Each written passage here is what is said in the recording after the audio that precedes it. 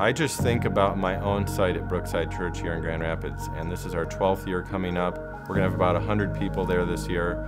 So if we go back over the 12 years, it's 1,200 people.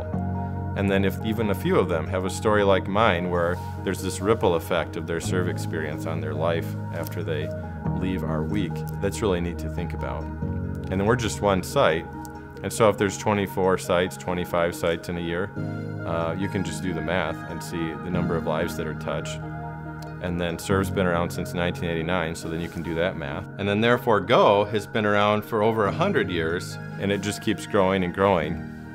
And it's just this huge ripple effect. As Mother Teresa so often says, you are God's love in action.